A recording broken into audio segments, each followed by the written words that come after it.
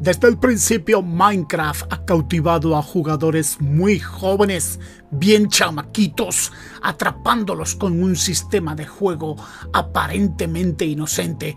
Pero ¿qué esconde Minecraft?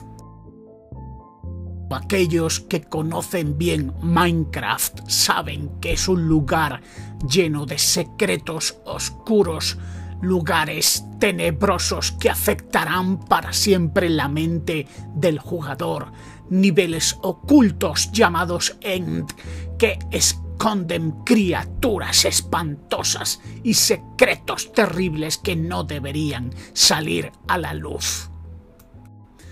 El escritor de ciencia ficción Arthur C. Clarke avisó de los peligros y del daño que sufriría una generación entera por este tipo de juegos. Mentes dañadas de por vida y consecuencias que afectarían para siempre a una generación, creando monstruos. El psicópata y asesino Charles Manson se inició jugando a estos peligrosos videojuegos. Su madre ni su padre sabían que iba a afectarle de tal manera.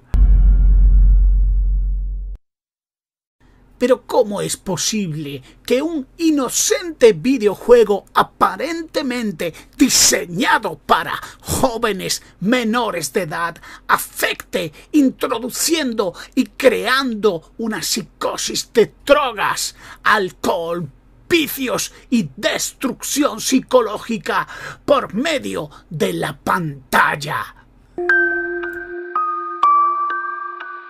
Los expertos consultados para este estudio aseguran sin ningún género de duda que el caos provocado por este videojuego en personas todavía cuya formación no se ha constituido crea gravísimos daños. Minecraft es el responsable de la destrucción del 70% de hogares en los Estados Unidos. Un 40% de abandono escolar se produce por Minecraft y también se han dado casos donde eh, influencias oscuras han hecho caer en la locura a estos jóvenes atrapados por las cuadros de Minecraft.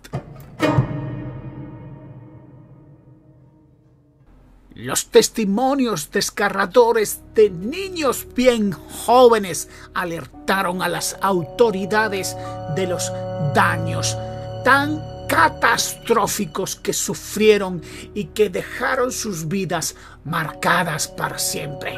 Este niño testifica ante el Comité de Menores y Asuntos Sociales del Estado de Ohio, contando cómo después de asesinar a sus padres siguió jugando la partida de Minecraft y sin ningún tipo de culpa solo lamenta no haber guardado la partida para haber subido de nivel. El peligroso juego mató su conciencia infantil. Algunos padres desesperados han probado terapias de choque, como en Rusia, donde preocupados por el impacto de Minecraft tuvieron que contratar a expertos para intentar liberar a estos jóvenes de esta horrible adicción. Sin embargo, ni los mejores tratamientos pudieron sacar adelante a estos chamacos. Esta familia, afectada al completo por Minecraft, fue en busca de la ayuda de un conocido sanador religioso, intentando que les ayudara a romper la cadena de esclavitud, pero ni siquiera él fue capaz, después de varios intentos, de liberar a esta sencilla familia de las garras de este juego esclavizador. Una y otra vez, durante horas, intentaron por medio de este ritual liberarlos, pero el predicador se dio por vencido.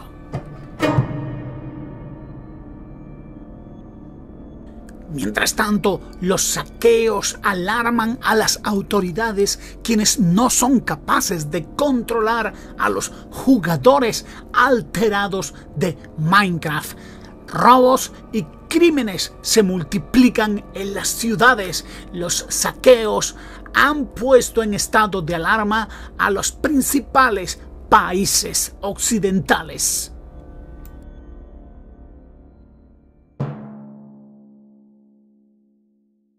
Este joven alerta a sus amigos del peligroso juego de Minecraft. La cuestión es, ¿alguien conseguirá hacerle caso y evitar el peligro que dañará su vida para siempre?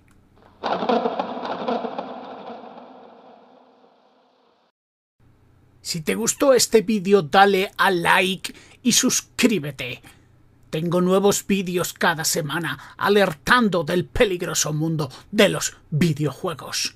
La semana que viene hablaremos de Animal Crossing, la puerta al desastre y a las drogas.